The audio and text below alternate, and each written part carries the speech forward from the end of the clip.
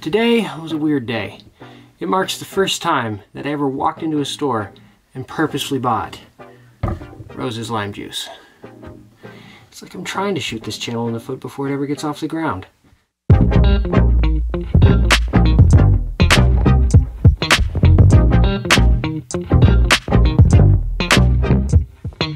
So the Gimlet is one of those cocktails with a long, rich history that nobody cares about.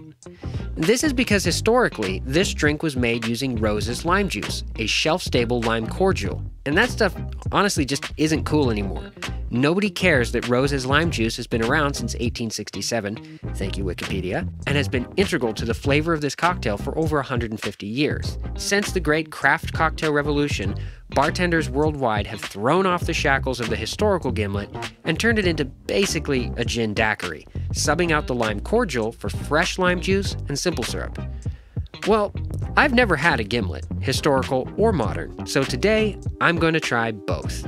To make it a fair comparison, I'm going to use the same gin, this Bombay London Dry, for both cocktails. Starting with the cordial version, I'm going to stir it in a mixing glass, following the lead of bartender Robert Hess.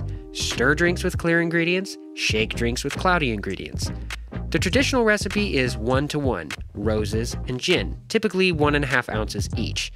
That's the ratio I'm going to follow, but today I'm making a half sized gimlet, so only three quarters of an ounce of each ingredient. Now I'm going to set that aside while I prepare the modern version. I'll start by cutting a lime, and for this version, you want an ounce ratio of three quarter to three quarter to two. So three quarters of an ounce each of fresh lime juice and simple syrup, and then two ounces of gin. But again, I'm cutting that in half by measuring only 3 eighths of an ounce of each lime juice and simple syrup, and then 1 ounce of gin into our shaker tin. Then I'm going to crack some ice into both the mixing glass and the shaker tin, and I'll stir up the traditional gimlet until it's thoroughly chilled, and then strain it into a glass. Then I'm going to shake up the modern gimlet until the tin is nice and frosted, and then I'm going to double strain this one into the glass to catch any ice chips or lime particles. And now for the fun part. All right, so it is time to taste, and I'm super excited. Over here we have the traditional with Rose's lime juice, um, traditional lime cordial approach to the gimlet, and then over here we have the fresh version with simple syrup and fresh lime juice, more of a gin daiquiri. So I'm gonna start over here and see what all the fuss is about.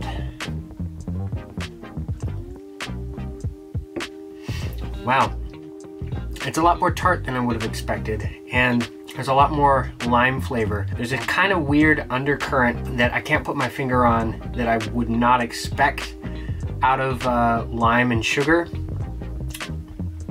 Yeah, it must be something in the gin that's just um, playing funny with the lime lime cordial. Uh, but whenever I taste something that I can't identify, uh, it can be a good thing, it can be a bad thing. Um, I'm not really sure yet. I'm a little, little on the a little on the fence with this one. So let's try this one.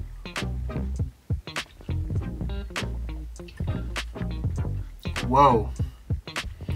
Totally different. So that one, I probably could have used a little bit more lime juice. I was trying to cut the recipe in half so I'd have these two cute little glasses filled. But um, this one's almost, uh, I don't know, it's, it's a completely different, this one's just a completely different drink. Uh, definitely tastes a lot more like a daiquiri and is really refreshing. This one has a bitterness that's kind of more palate challenging to a lot of people probably, as opposed to this one. This is just like, uh, just a, a cooler. That's, that's what this is. This is a hot summer day, you know, relaxing by the, by the pool kind of drink. I don't think I'd make this one again unless I uh, literally had no other options for a cocktail. Maybe that's not fair. It's not, it's not that bad. Um, maybe on a weeknight and all I had was the Rose's and gin, I'd be pretty happy to drink that. But I think this is far more up my alley. And I think that's why everyone's trying to make their own lime cordial these days or just do the daiquiri spec. So I hope you guys enjoyed the video. Hit the like button if you liked it. Hit the dislike button if you didn't like it. Comment down below and let me know your thoughts. Thank you so much. My name is Luke. This has been the Homemade Edition and I will see you in the next video. Cheers.